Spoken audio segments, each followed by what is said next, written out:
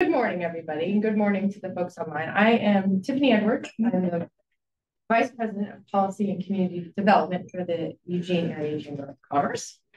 We are welcoming the candidates for Ward One Eugene City Council today. Uh, I'm sorry, Ward Two. I promise I know what I'm talking about. Yeah, good one. Good one. Um, Good to know where you live. and it does say this in my little note. And so Lisa Warnes and Matt Keating, and Matt Keating is the current incumbent. So I'm gonna start this morning by thanking each of you for being here with us today. We appreciate it, And we are looking forward to hearing from you and your thoughts and your vision for the future of Ward Two. Um, today's forum features both an in-person and a virtual audience. I have to let people in, so I apologize. There's more. Um, they can see us, but we can't see them because they're just tuning in. So, but they've got an owl and they can see everybody there. Um, we're, we're going to record the forums. We've been recording all the forums. We've been using the audio versions because the owl was a little bit funky. So, but the audio versions have been great. Um, our format today will start with each of you having two minutes to introduce yourselves, and then uh, we'll ask a series of questions, which you've had in advance. And then once we get through those questions, we'll open it up to folks both online and here in the room. And Heather, if you have, do you have the cards back there somewhere? Um, the note Oh, yeah, right We'll here. get those out. Just if you have a question for candidates, we're gonna have you write it on the cards and then uh, I'll read them off just to keep it consistent. Um, folks online, if you do have a question you want to ask of the candidates, please just type it. I can see the chat and I'll just, um, when we get to that, I can, I can ask your question. Um, we'll, when we move to the questions, you'll each have sixty seconds. Heather back there is going to give you a little 15 second when you've got fifteen to go, and then once time is up, there's a, there's another card for that. Um, we just ask that you kind of try to wrap up the, the- your, your thought, uh, but we won't, we won't be, we won't give you a hard stop, so. Um, let's see, what else? Um, we'll wrap up in time to allow you each for, uh, two minutes for your clo- closing statements as well. So I think that's it here. Any questions? Any questions from the audience? Any questions from the candidates? All right, so we're gonna start with Lisa. And then we'll rotate who goes first. Um, we'll go ahead and give you your first two minutes. I think, you know, just generally tell us about yourself and why, why you're running for two. Okay. Um, I'm running because I believe that uh, Eugene is in a very serious crossroads with the House Bill passage. House Bill twenty oh one. Um, I believe that Eugene moved fast and furious by adopting the full measure that goes well beyond the mandates of the law. And uh, thanks to my opponent, um, that is what the, that's what the uh, city council voted to do. So Eugene dropped parking requirements, allows three-story buildings in what was single-family dwellings, established solar panels and gardens can be threatened. This is a huge mistake and is already causing strife and frustration. Homelessness and lack of affordable housing is an unbearable crisis for residents and businesses. It is time for leadership on a city council that will better represent its constituents and local business interests.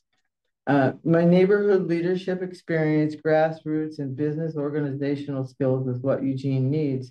If we want to keep the spirit um, alive in Eugene and um, homelessness, climate crisis and public safety concerns are all part of why I'm running because I want to um, figure out how to bring all the players to the table that are doing things to better our city, like um, like these people, healthcare for all, and um, other organizations. I also want to try to weave the whole thing together so we're not all separate voices.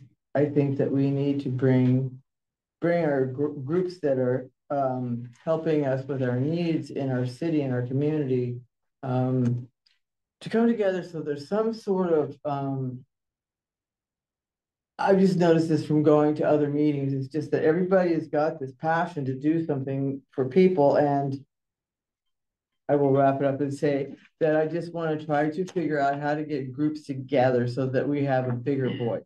Thank you. Thank you, Tiffany. Good morning. Um, thank you, LGAC members. Um, looking forward to many meetings with you in the legislature. Uh, you, uh, have visited and lobbied my boss, uh, Senator James Manning. Uh, so I look forward to your legislative priorities and I welcome the newest, uh, LGAC members, newest, um, uh, chamber, uh, staff to the, to the team. My name is Matt Keating. Uh, I'm your Ward Two City Councilor. Uh, I also serve with Kevin on the KLCC Public Radio Foundation Board. I'm a Eugene Public Library Emeritus Board member, and I'm City Council President and liaison to the Lane Regional Air Protection Agency. Um, and I'm a past chair of the Human Services Commission, an intergovernmental agency between the cities of Eugene, Springfield, and Lane County, keenly focused on behavioral health, mental health.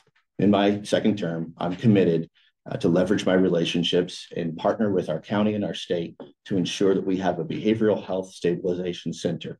A third option for first responders uh, to, to help take uh, to help uh, folks who are suffering an acute mental health crisis.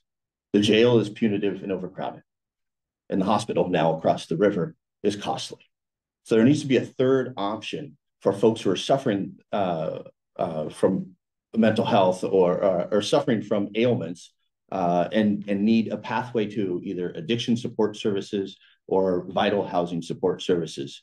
And that to me, clearly, is a day use center, a behavioral health, uh, mental health uh, service center. It's one thing to, to champion affordable housing, which I do. But if we don't give folks the wraparound services and the access and the tools to better themselves, then I question what are we doing? You can learn more at mattkeating.org. I look forward to a spirited conversation today. I thank you for your service and your attention. And I thank you for being voters. Okay, now I'm gonna give you the first um question and then we'll alternate. Um, so hoping you can tell us what you believe is the biggest challenge facing Eugene and how you plan to address it. I, I, I just alluded to it, it- the, the homelessness crisis is, is, uh, right in front of our face. Uh, and while it may not be in the city's wheelhouse in regards to our charter, the county is the Health and Human Services, um, point. It's, we have a responsibility as a community. I am the city councilor that advanced an ordinance to ban camping within a thousand feet of the library or of any school in our community. At the same time, in my role as Health and Human Services Chair, I protected the funding and stabilized the funding for community supported shelters. We can be compassionate without being enabling. I'm proud of that. We need to find more ways to get resources into our community to help uh, rest stops and help support safe sleep sites. And that means changing the very definition of emergency shelter at a federal level. I've got the energy, the commitment, and the relationships to get that done. But clearly, homelessness is the issue front and center in our community. Okay, Great. So Lisa, same question. What do you believe is the biggest challenge facing Eugene? And how would you plan to address it? Okay, thanks for the question. Um, to reduce homelessness, we must make a concerted effort and a coordinated effort as well. From all agencies, nonprofit groups in the uh, region to efficiently and effectively deploy resources from federal, county, city, and charitable sources. The approach has been used effectively from um, federal, oh, sorry, this, this approach has been used effectively to reduce long-term homelessness in other cities such as Houston, Texas. Reports from Portland and Multnomah County indicate that we do need to do a better job tracking and monitoring of our homeless population to understand what works and what does not work. So that's where I would start. Thank you. So I'll do the, uh, the next question to take first. Uh, so the Chamber's mission is to support strong, a strong and vibrant economy, which enables individuals to live happy, healthy lives. What do you think businesses need for a strong local economy? And what do you feel the role of a city council member is in supporting local businesses? Okay. Well, as a small business owner, I understand the challenges of lo- that local businesses face, and we must ensure that local Eugene local businesses and small businesses can operate in a fair and level environment. It's not favoring large out-of-town businesses. Eugene's businesses proper prosper when Eugene's residents do well and enjoy a quality environment and a quality neighborhood with good schools. Investments in Eugene neighborhoods, infrastructure, and schools are a great way to support our local businesses. You good? Oh, okay. Yes, well, um, that, that's basically in a nutshell. There's so much more that I can do. All right, we'll, we'll, we'll move to Matt. Um, I'll repeat the question. So the Chamber's mission is to support a strong, vibrant economy which enables individuals to live happy, healthy lives. What do you think the businesses need for a strong local economy? And what do you feel is the role of the city council? I would answer this in a Socratic method, uh, manner. Thanks, Tiffany. I would ask those who are doing the work what you need, and having that open door conversation is critical. I applaud the mayor for creating a blue ribbon commission that brought business to the table uh, as we tackle climate change, as we tackle homelessness, um, as we are coming out of the, the pandemic and, and look to infuse uh, energy into our community, economic energy into our community, and attract new business into our community. Eugene's a great place to live, work, and play. It needs to be a better place to live, work, play, and stay. And that means hiring local, that means providing living wage jobs, means providing workforce housing, of all of the above. But I would ask the chamber and I would ask LGAC in particular, what your needs are in that blue ribbon panel commission. I want to see that long-term, ongoing, not necessarily as an official board or commission, but as a committee that actually works, gets the job done, and uh, informs council what your needs are. Great. All right, I'll give you this next one first. Um, Eugene's crisis around housing affordability, supply, and diversity of housing types has had a dire impact to businesses. What strategies to improve these would you support, and what new ideas might you have to bring to the role as a city councilor? Thank you. I'll start with the, the new ideas. You may have heard me crow about it from the dais, but we have um, an urban renewal districts downtown and the uh, Riverfront Urban Renewal District. I'm a champion for third urban renewal district, going out sixth and seventh and out Highway ninety-nine. When folks come and visit our community, uh, friends or family or business leaders, and they, they get off, they get out of the airport and they come into that ninety-nine corridor, ask yourselves, are they seeing the best of what Eugene offers? So infusing economic activity on that corridor, building up and not out. I'm the only councilor who's fundamentally uh, voted against uh, expanding our urban reserves. I want to protect our forests to the south and our farmland to the north, and I want to build up responsibly. We can do it, Eugene. Three, four, five stories of commercial on the bottom and residential on the way up, along parts of our community that are just that are blighted and, and lacking serious investment and economic energy. I look forward to a third urban renewal district uh, coming to fruition in my second term. Okay, great. Lisa, same question. Our crisis around uh housing affordability, supply, and diversity of housing types has had a dire impact to businesses. What strategies to improve these would you support? And what new ideas could you bring to the role as a city councilor? Uh, I believe that, uh, people, uh, businesses and people do better when they have extra money to spend. As far as affordable housing goes, twenty-five hundred dollars a month for rent is not affordable. We must get rent in line with the reality of people's incomes first. We must have a healthy rate, ratio of new housing to be truly affordable while preserving existing housing. We should raise the minimum wage. We should provide more education and training for skills, skilled blue collar jobs. If we are to expect affordable housing at the current price. Thanks for the question. You got it. All right. We have uh another question, and Lisa, we'll start with you first. Okay. Sorry, watching Heather back there. That's Okay. Uh, so many of our Eugene Chamber members have expressed concerns that improving downtown is a top priority for their businesses. What do you think needs to be improved downtown and how would you work to make that happen? I've lived in Eugene for forty-four years and I've watched the city open streets and I've watched them close the streets only to open back up again. we should ask our taxpayers, what do they want to support downtown? And I know some of our uh, taxpayers are business owners downtown, so let's engage the public. And that's what I want to do as city councilor is bring back citizen involvement. Could, and uh, engage the public about what's coming with everything that the fallout from House Bill twenty oh one. And truly affordable housing being part of the mix into the neighborhoods that are now slated and development is already going on. The uh fact that the city dropped parking restrictions is appalling to me. And uh I I we're we are looking at some serious fallout here in the future, so. I'm concerned about not just downtown, I am concerned about all of the areas that are being targeted for these uh stack packs that are coming our way. Thank you for the question. You got it. And I'm gonna ask you the same question.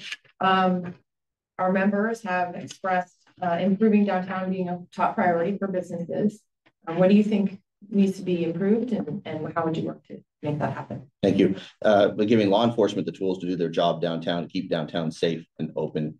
Um, most recently, uh, I was the swing vote that advanced a whole suite of, uh, of parking, uh, restrictions. Uh, kind of clamping down on the, the, the, the frequent Breaking Bad style campers. Um, um, you know, we hadn't, we as council hadn't adjusted the parking uh ordinance was a twenty-five dollar ticket since the nineteen eighties. So that's changed. Uh, moreover, if one gets a ticket three times within a ninety-day period, they are now subject to. uh, So there, there's, there's some, uh, some teeth, uh, uh, in regards to what we've recently done for parking. Um, but keeping downtown open, vibrant and clean, um, ensuring that there, there's economic energy and activity downtown, ensuring folks have pathways to home ownership downtown, um, and that there are rentals available that are affordable downtown. Um, I, I'm gonna do a second round, Mayor. Okay. Well, maybe you can weave it into the next question. Um, all right, so I'll let you take the first, the, be first in taking this next question. Investments in economic development opportunities are a powerful tool that the city has in leveraging public dollars to attract private investment. Maybe lobbying you a little bit here. Mhm. This in turn helps to create jobs, boost economic activity, and ultimately bring in new tax revenues to support the city's general fund. How would you prioritize projects and opportunities that support economic vibrancy? Thank you. I'm the city councilor that, uh, with, uh, Lisa Fragala, uh, who's running for House District Eight on the Lane Community College Board, a board Kevin knows well, crafted the community benefits agreement. Uh, that ensures that on, uh, projects with public dollars, that we keep our dollars local and hired locally. Uh, that we have locally sourced sustainably goods, and we're lifting up minority-owned businesses. Um, I would like to see, uh, obviously, there's, there's, you know, procurement, uh, statewide procurement dollars for public projects, but I would like to see, and I just, uh, floated this most recently at a work session. Um, I would like to see a citywide CBA or PLA, a project labor agreement, or a community benefits agreement, uh, at a municipal level. Uh, that, that embraces the concept of public-private partnerships and ensures that we are hiring locally and we're lifting up uh local businesses and using sustainably sourced goods within hundred mile radius or you know whatever makes sense for for our community. But I would use the model that we crafted at LCC uh and and look to the state uh the uh, a model that my my boss Senator Manning crafted back in 2021 and and look to the county former county commissioner uh crafted back in 2019 uh, there are models that can be employed and embraced and the city certainly needs uh, a, a CBA or community benefits agreement. Lisa, I'll ask the same question.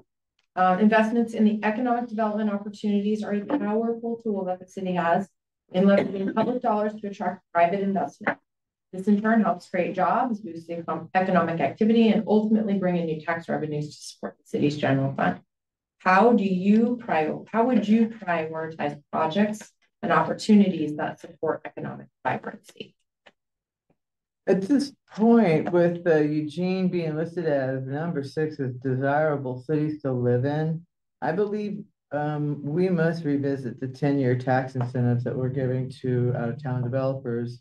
I'm all for giving them two years. I think that's reasonable while they get the thing built up and built out. Um, but let's face it, Eugene needs to invest in the community. It, it's high time we, you know, invested in our, in our community, essential public service, services, public safety, including mental health and drug addiction programs. These programs will help lead to solutions of homelessness. We will, I also want to, uh, ex- I will extend the use of MUPTE where there is true affordable housing involved. And, um, I, I believe that, um,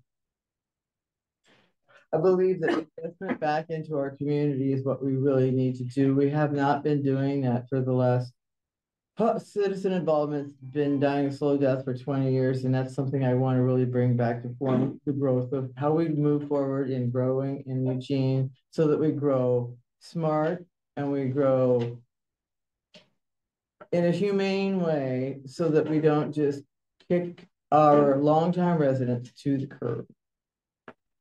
Thank you. Okay. All right, we're gonna go to question number six. Um, and I will start with Lisa.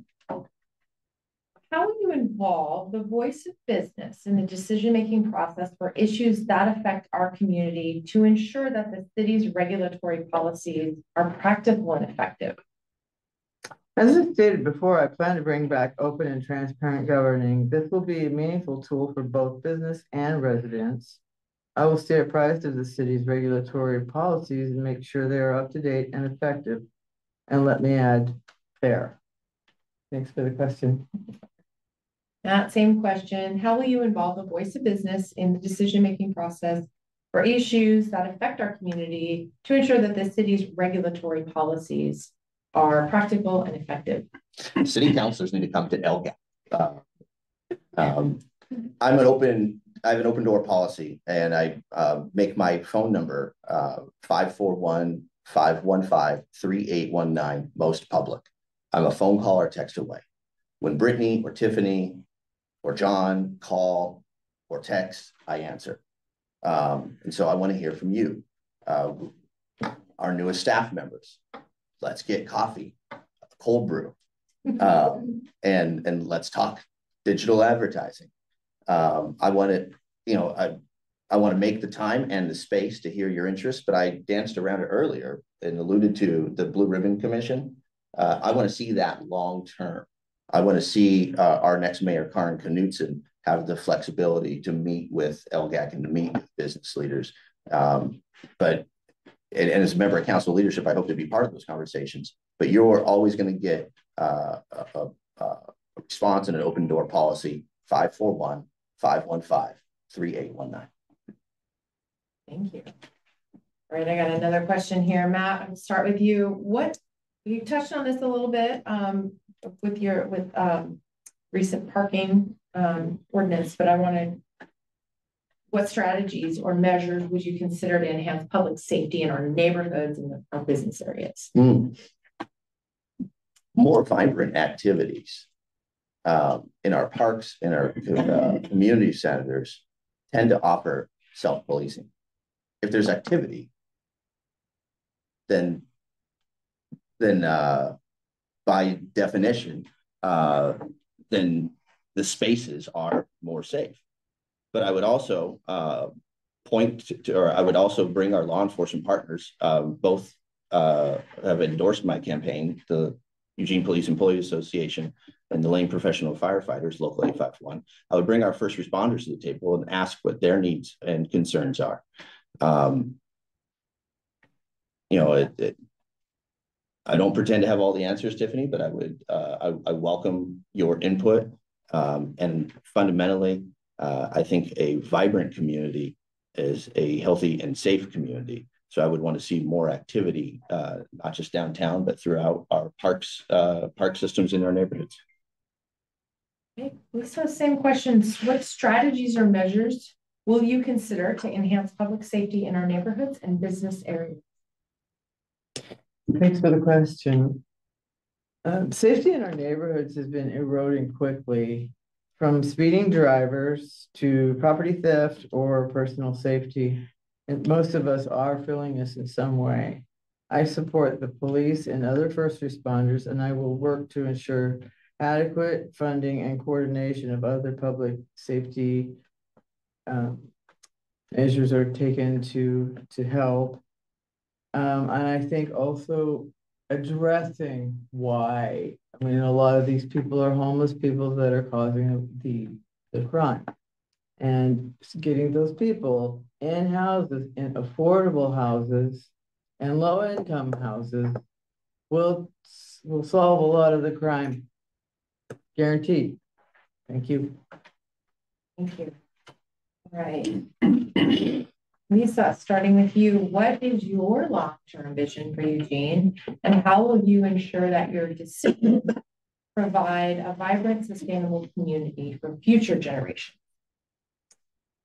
Thanks for the question. I uh, plan to bring all of the stakeholders to the table for some planning. Wait a minute, that was the long-term vision, right? Yes, long-term vision for Okay. Eugene. Okay, okay, I plan to bring all of the stakeholders to the table for sane planning that does not destroy the livability of our neighborhoods. While accommodating for growth, we must make way for. Our growth planning must be in line with carbon neutral by twenty fifty. Only then we can make a goal, the goal of being carbon neutral by then. I see the current trajectory of what is going on in the planning that is not actually affordable housing, ones that I've been looking at. Um, it, they just seem to be, uh, like they could be much better planned. I feel like that we, we need to really try much harder to be, to take the citizens that live here and have supported this community for, you know, for decades or more that we need to uh not just cram a three-story building right next to them and give them an additional 20, 30 cars parked in front of their house because that's what it's looking like. So I wanna, I wanna put some sanity back in that plan. Thank you. Got it. All right. Matt, what is your long-term vision for Eugene? How will you ensure that your decisions provide a vibrant, sustainable community for future generations? Our long-term vision for Eugene is a great place to live, work, play, and stay. It's a beautiful, vibrant community. The secret's out. It's a wonderful place to raise a family. And I want to see our community grow, uh, grow up and not out. I want to protect our forests to the south and our farmland to the north. I want to see an array of housing uh, at all levels. So when businesses come, there's workforce housing available. There's affordable housing, there's federally subsidized housing, there's market rate housing.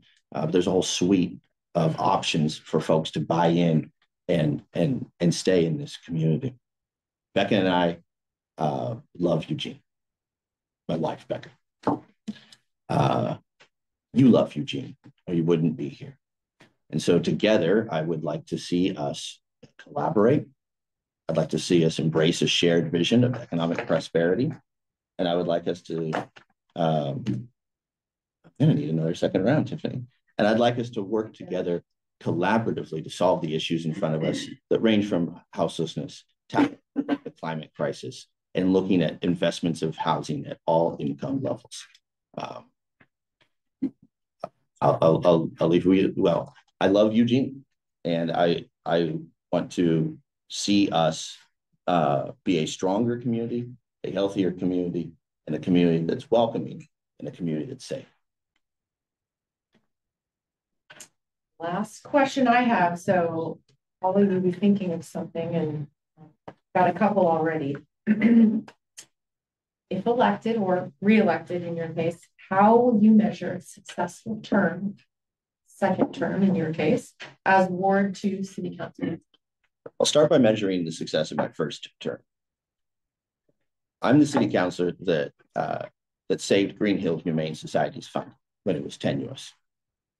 About an eight percent uh, budget cut was facing Greenhill, and I found a way to collaborate with city staff, uh, law enforcement, uh, to essentially move nine-one-one operators under the Community Safety Initiative, freeing up nearly half a million dollars for Green Humane Society. It's a win. Love me or hate me for it, I'm the city councilor that advanced a fireworks ban in the South Hills to protect our community from wildfire danger. And I banded together with my colleagues to help prevent critical cuts to a local fire station, fire station number eight. Firefighters, lane professional firefighters, Local 851 have endorsed my campaign. Congressman Peter DeFazio, Congresswoman Val Hoyle, Governor Tina Kotek, most recently Eugene Weekly, Representative Paul Holvey, Senators Prozanski and Manning, and I would say, and Mayor Vinis and Councilors Yeh, Groves, uh, Zelenka and, and Leech. That's a measure of success. Lisa, if elected, how will you measure a successful term as a Ward Two city council? Um, success after a first term would, would be less homeless people on the street. Um, because they're living in affordable housing and more uh, funding for schools, mental health programs, along with drug addiction treatment programs without raising property taxes. By investing in the community, the status quo of giving long-term breaks needs to stop. I will have citizen involvement program in place, and there will be more transparency in the local government. And I do want to mention that Greenhill, back, oh, I don't remember what year, was privatized. Uh, Lane County Animal Services was privatized. And uh, then it was taken over by Greenhill. I used to do dog rescue for ten years with Save the Pets. And uh, we pretty much had Lane County Animal Service as a no-kill shelter, pretty much. Greenhill's a kill shelter. Thank you.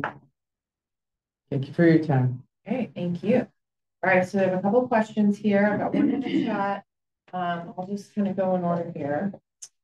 So first question, and Lisa, will I'll give you the opportunity to go first. Um, we hear negative sentiments from the current local, from the current city council about local businesses which are owned or headquartered outside of the region. Just Happens. We also have heard that current city council shares statements about building a local community and, and economy, which is able to attract outside businesses to relocate here. What's your perspective on these views and how do, how do you think they kind of relate to one another? Can you rephrase that a little Yeah. bit? I'm not quite understanding. the- Um, I'm, I'm Got a lot gonna of paraphrase here. So we hear, we hear negative sentiments about out businesses that are lo- located here that are headquartered somewhere else. At the same time, we're also talking about recruiting businesses to come here. Mhm. And so maybe just, can you maybe speak to that? And what's your perspective on that? Uh, on your views? Related to local businesses or businesses that aren't yet local, but we want to. recruit. Does that make sense? Yeah, yeah, now I get it. Okay, so I think that, um, depending on what the outside business is, I mean, damn, if it's something that we really need, you know, that's gonna really help our community and our, uh, our population here in Eugene and be a service to us. I, I'm not gonna turn away, I mean, I don't even see how you can turn away business. I don't like the, on the other hand, don't like how corporate has taken over everything, and that I'm not in favor of at all. In fact, you know, with this healthcare for all, you know, I, the, the way that the medicine has been so corporate, you know, incorporated that people are not getting good healthcare, you know, that's another thing I want to deal with. So I think it has to be case by case, really. You know, what's gonna be best for Eugene? That's my bottom line. Matt, do you want me to try to articulate the question again? Okay, so we hear, we hear sentiments, there's a lot of, um. Sentiments from city council and, and otherwise, that, um. There's a, a- there's a, we hear negative things about businesses who have. Uh, who are headquartered elsewhere, that we may have here. Yeah. Probably think of a full handful, but at the same time, we are actively looking to recruit businesses from outside the area. And so what are you, what's your perspective on these views and kind of, you know, how do they relate to one another? So let's, let's use an example, Lowe's versus Jerry's. a national uh company versus uh an Oregon Sure. homegrown company. I suspect there are investors who live in Eugene who invest in Lowe's. I suspect Lowe's hires a local workforce. I suspect Jerry's hires a local workforce. A balance is is is welcome. I'm not gonna uh, sit back and pick winners and, and losers. I'm going to do what I can as a councilor to attract responsible business to the community while working with our current uh, business leaders to find ways that, to keep business working for them. Um, you know, if if if if Salem is more attractive, or if if if Portland is more attractive, or Ashland or Bend, and we're losing out on opportunities, we're losing out on on long-term residents. We're losing out on growing our tax base. We're losing out on vibrant economic activity. So I would want to strike a balance, and I hope that that example uh, is is a fair one. I I uh, mentioned earlier my enthusiasm and thirst for community benefits agreement. I would hope that there would be living wage jobs attached uh, to uh, to businesses that, that we attract. Um, but it's not council's role to, to pick winners and losers. It's our role to establish a, uh, uh, ordinances and laws that work for all and uh, um, and and get out of the way to attract the the right uh, to attract responsible businesses to, to our community. But we can't just be homegrown and we can't just be out of state. So there's a, but there's a balance, Tiffany. Yeah. I'll let you start, let you answer this one first. Um. You talked a lot about building up and not out. So what do you, what are the obstacles that you perceive to building up? Yeah. And how might you propose to? So it has to pencil out. I look at ten fifty-nine Willamette. Um. The, the old downtown LCC building, the old Montgomery Ward building, perfectly positioned on a transit line. Finally, we were able to find the right developer to responsibly work, uh, um, uh, to raze the, the, the, the, the, the building and, and build up that is commercial on the bottom, residential on the way up, hundred and thirty units. Seventy of those units are gonna be affordable housing units, federally subsidized. Sixty of those are gonna be market rate, so it pencils out. Ten units are gonna be dedicated for the Hope and Safety Alliance, formerly Womenspace. So survivors of domestic violence can have a safe space to be. That's a win-win. That's, that's commercial on the bottom, that's uh, uh, residential on the way up, that's mixed economy and mixed housing, and it's right on a transit line. And we're partnering with a reputable nonprofit. That's what I want to see replicated throughout this community. So you have thoughts on that? What, what do you see as the obstacles you may perceive to building up? And, and instead of out, um, and might, how might you overcome those? That is a very, very tough planning issue. Um, I understand why we have to go up. I'm totally one hundred percent in agreement that we need to do that because I don't want to break out the urban growth boundary and I definitely don't want to break it out open for a one-time grab all either. And I think that that was something that uh, Tina Kotek was talking about at some point. But uh, I, I also think that we need to go up. It's just, how are we going to go up? Are we gonna invade the neighbor's privacy so badly that they're gonna sell their house? And leave? That's what's happening in the areas where this is happening, and I guess. You know, I know that I, because I've talked to people that work in a city and their attitude is, this is just the way it is, and people need to just move over and accept it. That is heartless when you have people that have lived here for decades and they've supported this city through hard times, and now the city, this city is number six and an awesome city, which it won't be for long in the current trajectory we're headed. Um, I, I believe, I'll stop. Thank you. Right, well, I'll change gears a little bit ask Okay. a question about um homeless homelessness. So there is a common narrative out there that the most folks who are experiencing homelessness are from here. They're local folks that are experiencing, you know, that have come to come into hard times. However, if you listen to our first responders, they tell a different story. First responders will say that most of the people that they come in contact with are not from here. What are your thoughts about that? Me? Both of you, but yeah, we'll start with you. Okay, Well, personally, when I started this campaign, I started walking around to homeless encampments all over town. And eighty percent of the responses I got when I asked them, where are you from? They were from some other state. And I got, when I mentioned that publicly, wow, did I ever get pushback? Why did I get pushback? I don't know. But there's a lot of people, a lot more people here in town than there was two years ago, that you can tell by the traffic. Uh, by all of the tents on the street, you know, I mean, it is a huge issue and a lot of those people are not from here because we have services and that's why they're coming.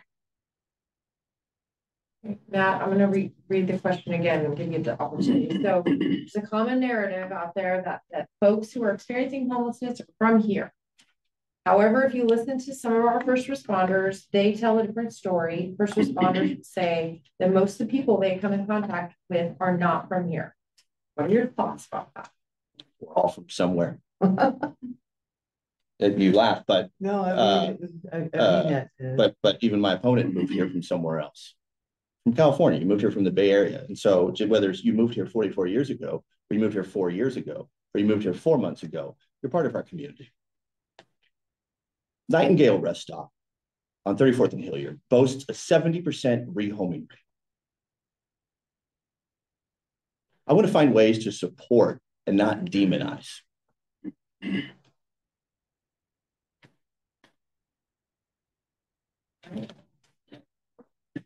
Thank you. Um, next question, I'll let you start. We have a first class university here that produces stories of talented and in- industrious graduates. What ideas do you have to inspire or incentivize keeping them in our community versus having them head out to? Thanks. Um, talking about live, work, play, and Eugene needs to be a better place to live, work, play, and stay. And perhaps that means providing incentives or tax relief for local businesses who hire local graduates. It's around eighty percent of Lane graduates. These are two thousand eight numbers back when I helped pass the, the bond, so forgive me if these are off, but eighty percent of Lane graduates stay. It's less than fifty percent of UO graduates stay. So why are they not staying? Is there lack of, of employment? Is there lack of housing? Let's find out and let's, let's work to, to correct that. Um, I suspect it's, uh, both.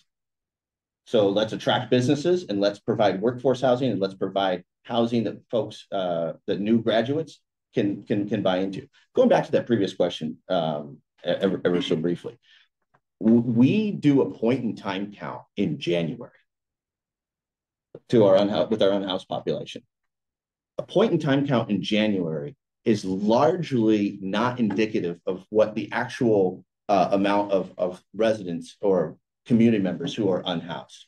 I would want to work with our federal partners to change when our point in time counts are, so we can get a better handle on how to actually deliver services, get folks connected to affordable housing, and get them the wraparound services and support that they need to stay housed. Lisa, I'm gonna reread this question now that I've realized I read a word wrong. Uh, so, but it, it's the gist. So we have a first-class university here, provides scores of talented and industrious. What ideas do you have to inspire or incentivize keeping them in our community versus having them head off to other states and other? Well, with the exception of Justin Herbert, he had to go move to California because he's a, you know, born, born uh Charger fan, you know, and he's an awesome player. But in general, I believe that we need to have jobs here that are available to our graduates. We don't. And the other thing that uh ties into that is living here costs a lot of money. This is a very expensive place to live. And so I think that's one of the reasons why these young graduates leave too. Plus, maybe they just want to go find their own life elsewhere. I don't really know. I agree with you. We need to identify why people are leaving. Um, that would be the first thing I would do. But I know we don't have enough jobs that are in related to the degrees that they're coming out of school with. So thanks for the question. Got it. So I've got another question that's re- that's related. So I'm gonna ask this one here online. Um. Improving wages is a goal to each of you. Um, what, how do you expect businesses to pay that? And, and will there be federal outreach to help local businesses be successful? So tying it to kind of like raising wage, things like that. So how, what's, maybe talk a little bit more about like, how do we do that? So Lisa, I'll let you take this one first. So improving wages is important to you. How, um, how would you propose that businesses cover that cost? And is there any kind of federal outreach to help local businesses be successful? Well, identifying those uh programs would be the first thing to do, to see if there's any kind of fiscal help there. Otherwise, um. I believe, again. Well, specifically the question again, Well, let's see. I'm trying to paraphrase a little bit here. So improving wages is the goal for each Oh, yeah, yeah. How do you expect businesses to, to That compensate or to cover that? Well, you know, the way that it always works is when you give a person a raise, or, you know, you. Make the hamburger go up uh, fifty cents or something. I, I, and I know that that is not a sustainable way to deal with giving, um. You know, raising the minimum wage, and I do believe we need to raise the minimum wage to, you know, eighteen bucks an hour minimum. It's, it's, um.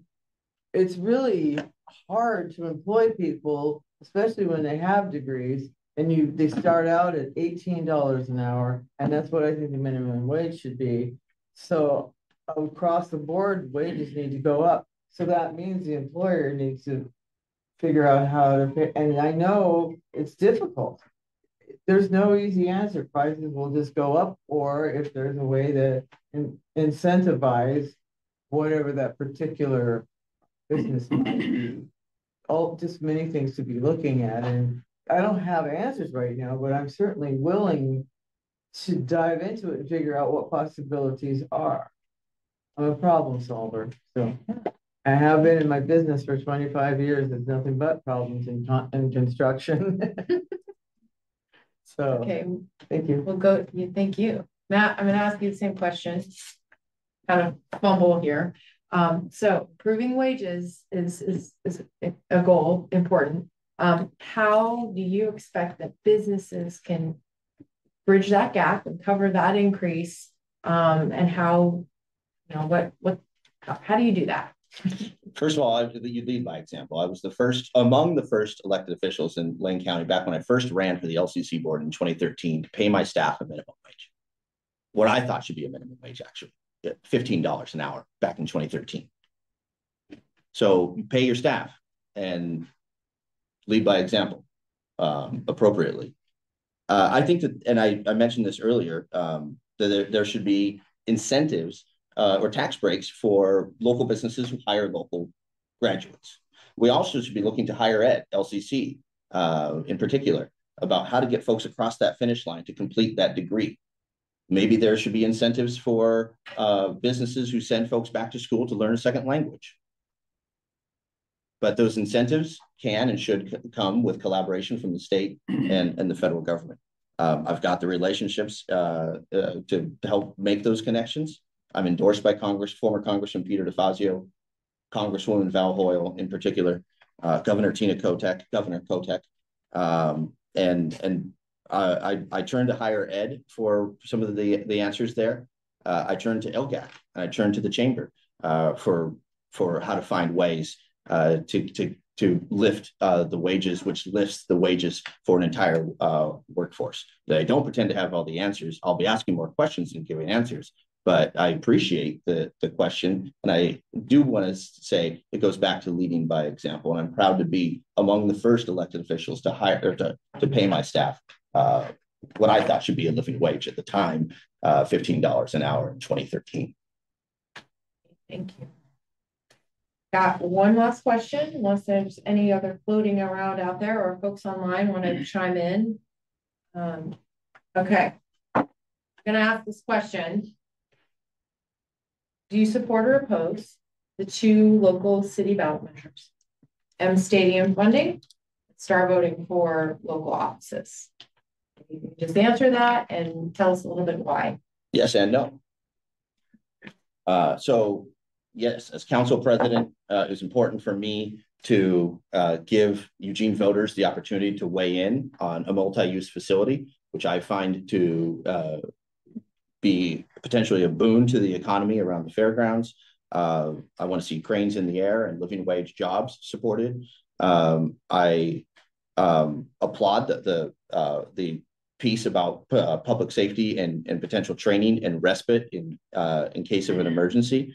And fundamentally, the Ems uh, have been in our community longer than the Giants have been in San Francisco or the Dodgers have been in LA. They're a storied organization that has lifted up uh, a multitude of nonprofits. So I'm a yes.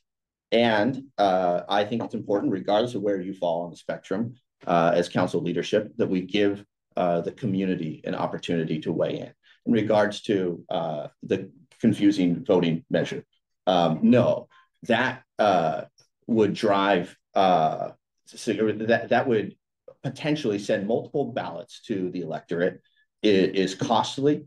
Uh, Lane County's done an FAQ. If you would like to read more about how uh, significantly uh, or how cost burdensome it is to administer, uh, and I ask, when a state that has the highest voter turnout in a primary in the nation, what are we trying to fix with a confusing and costly uh, uh, proposal? So uh, I'm I'm uh, a, a, no on on uh, on that particular mission. Perfect. And shameless plug, we are having that presentation here next week, so give people an opportunity to understand what it's about. Um, Lisa, I'm gonna ask you the same question about those two local ballot measures. Um, do you support, uh, vote, you support or oppose the M Stadium and start voting and maybe just kind of give us a little bit of why?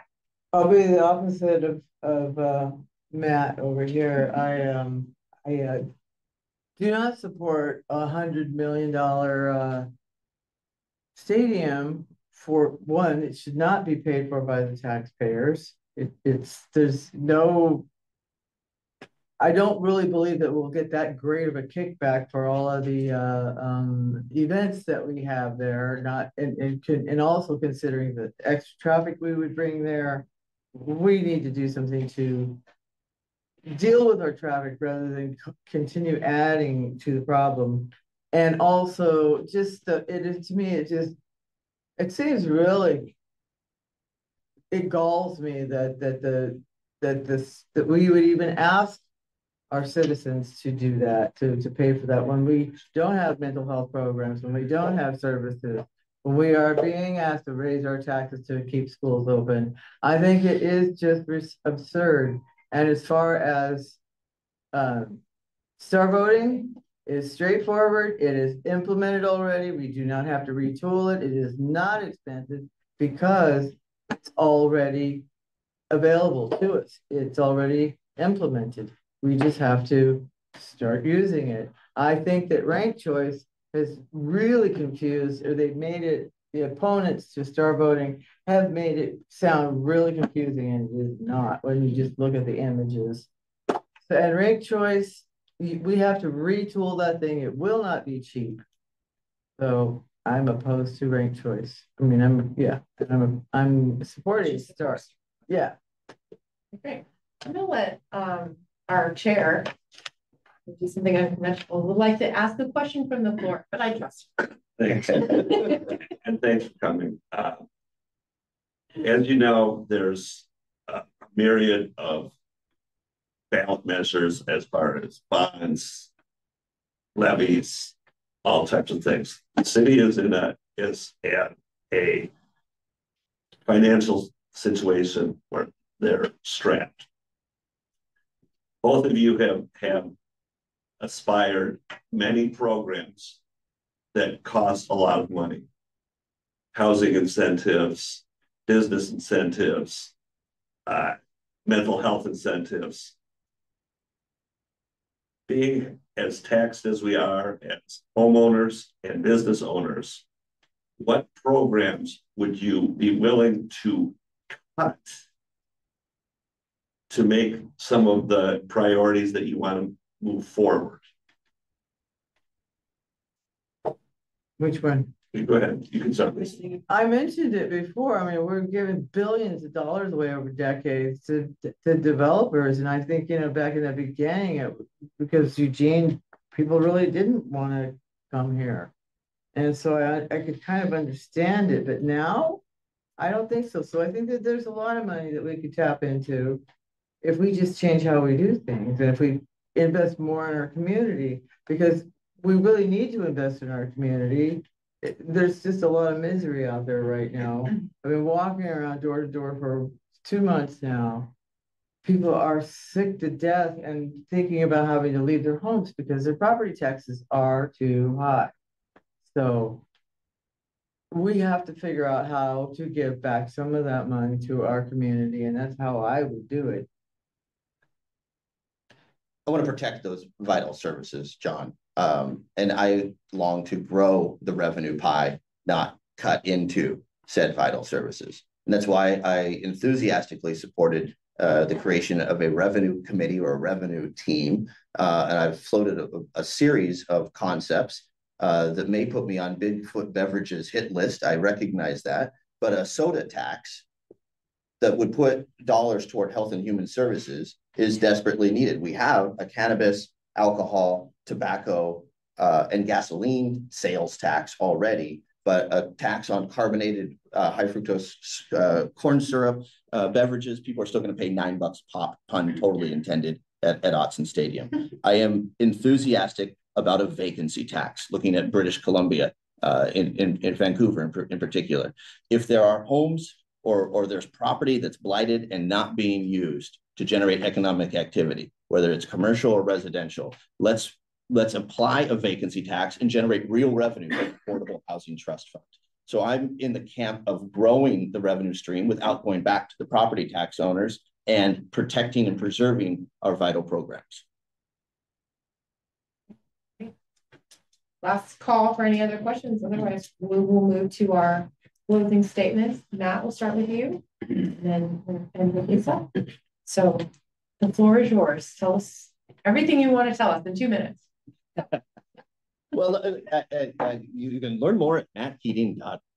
Uh, but it, it is a pleasure to be with you this morning and have this conversation. It is an extreme honor to, to serve.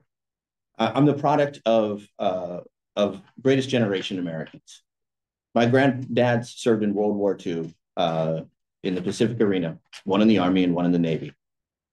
My maternal grandmother was an educator.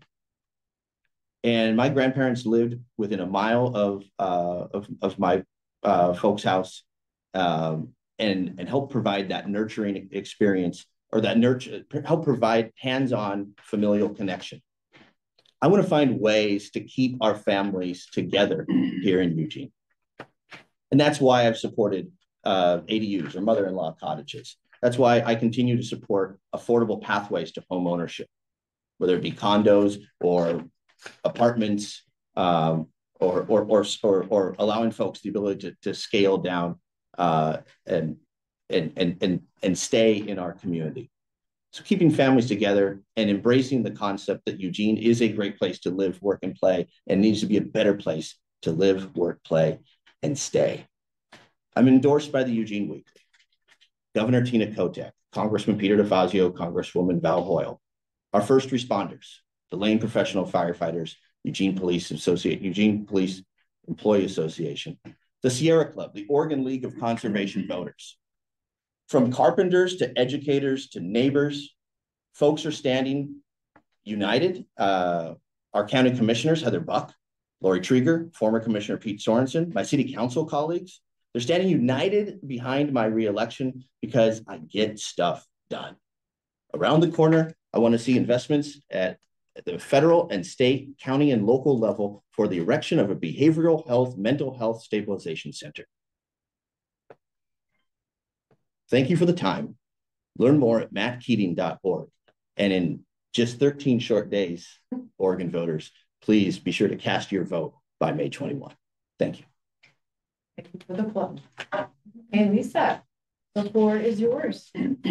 Well, I, um, I've been in, uh, Eugene since, um, nineteen eighty. And I moved here to uh get away from the urban sprawl that was happening in the Bay Area. I actually lived in Santa Cruz at the time, but it was becoming quite gentrified. And it broke my heart to watch it, so I moved up here because I love the trees. Um, and just how gorgeous it is up here and uh it's changing rapidly. And I um I feel like I, I've done some service to the community in that I've stopped development in the Amazon headwaters so that we have some beautiful parkland to go to hike around in and co- connectivity to the Ridgeline Trail System. And um, I, I definitely plan on making sure that we have incentivized developers that are already building affordable housing that are part of what we are doing here in our planning. And I also want to make sure that we do a mindful planning so that we're not invading people's privacy of one hundred percent. I mean, we have to work with our citizens. We have to plan with the citizens. It's just not right to just say, move the heck over. We're gonna do this. We don't care. Move whatever you gotta do. So you move and then they tear that house down. That's just I see that that's probably what's going to end up happening, or people are just not gonna be able to handle the current trajectory of the development going on around them. And I see a lot of strife and unhappiness to longtime citizens here. And so that is what I'm mostly concerned about right at this moment. And I feel that we need to just get transparency back into city government uh, and I believe that the planning commission has taken too much power away from the city council. And I want to rein that in because as a person who served on the planning commission, I saw that it basically was serving interests for development and real estate and all of the people that are, all of the big names that um, my opponent is, is thumping are all supported by the Eugene Realtors PAC that's alarming to me. Because while I realize we must grow, I also realize we must grow in a thoughtful way. I don't think we're that far apart in terms of, of that either, but it's just certain things along the way, we have to make decisions that will represent our citizens and affordable housing. That's it. Getting homeless people off the street into affordable housing. Thank you very much for all you coming here anytime. And I uh, invite you to uh, my website, warnesforcouncil.org. See more about me. Um, you can go to my Facebook and um, see what I'm like really as a human being. Thank you. Thank you. Thank you, Lisa Warnes and Matt Keating. Um, as a reminder, I just want to let folks know, we're going to be posting all of these, uh, forums, and so we just put it out there and um, we also have our voters guide out, so that a lot of great compliments on that. Um, team has been fantastic in putting that together, and I really highly encourage everybody to check that out. Um, I'll leave you with a thought because I had the opportunity to go to um, Washington DC last week, and I was there with the Portland Metro and the Seattle Chambers Commerce and 150 businesses, elected officials, you name it. I, and then there's me, little, little me from Eugene. We had a speaker and she was with the Brookings Institute and she gave the most fantastic presentation I've ever seen, but she was such a great speaker, but she, she said something that resonated with me and I'm sharing this because, um, what she said in talking about how to improve our downtowns because it's across the nation a problem for downtowns. And she said, you've got to make doing the right thing easier than doing the wrong thing. And it was brilliant to me. And so I just want to say, you know, because when you think about policymakers and the choices that we're making, and if you're if it's if it's the same, if all else equal, doing the wrong thing is the same as is doing the right thing, you might you're going to see the outcomes we don't want. So I just thought that, that was brilliant. So I'm going to take that opportunity to, to make that play. So thank you all, and we'll see you next week for star voting, and then we'll be done with our election season. Pretty exciting. Thank you guys. All right. Hi, wife. Yeah.